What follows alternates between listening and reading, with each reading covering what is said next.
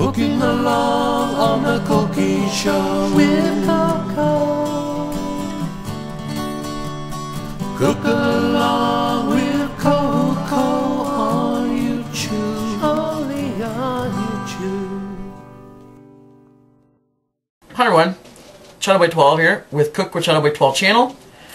And today we're going to start off season 2.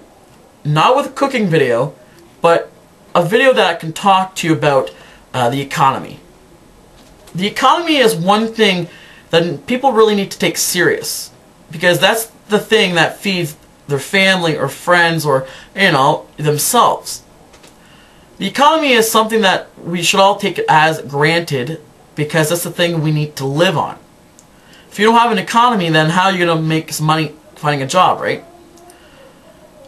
And what I've noticed when I was living on my own, I lived on my own for a year and a half. I mean, I wanted to know what it was like to live on my own and to see I had to pay all these bills, rent, and groceries. It was hard at the beginning, but I got used to it with time. But one thing I never really understood when I went to uh, the store, the grocery store, every time I got paid, was to understand the prices that these groceries or these food companies put up for us customers. I remember back then, when I think it was like a year ago, I got a bag of milk, like four liter of bag of milk, for three eighty seven, and that was cheap. I, I liked the price; it was affordable, and it was enough for me to live on for the month.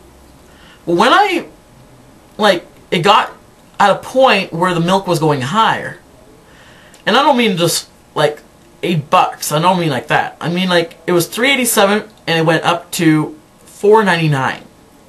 And that's expensive knowing the fact that I'm living on a small income. And there's not just me. I mean, there's a lot of people are living on a small income.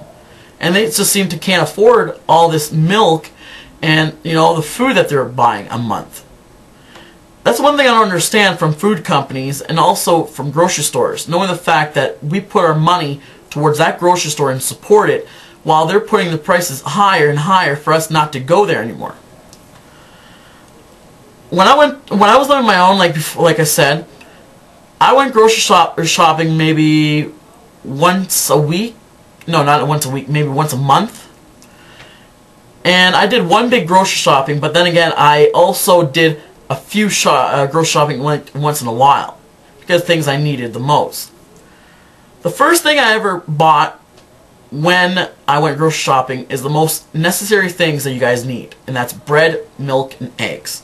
Those are three things that you need basically because pretty much you can do uh, pretty much anything with these three things. Milk, you can drink it like that to build your calcium. Eggs is your protein. And bread, bread, everyone needs bread to make sandwiches. I mean, your household is kind of boring without bread, you know. I don't know about you, but to me, if I don't have bread, I mean, it's kind of boring. I mean, what am I going to eat for a snack? Or, you know, if I want to wake up in the morning, you know, what am I going to eat? Cereal. Sometimes I really don't want to buy cereal. I just want to have a piece of toast, you know, with cheese. So that's what I really want you guys to know, really, because I really want to come on here more often and talk about the economy and how much prices are going skyrocket each and every day at grocery stores. I'm going to come on here more often and give you guys a little bit more updates on this. So my name is Chathamboy12. Take care and have a great day.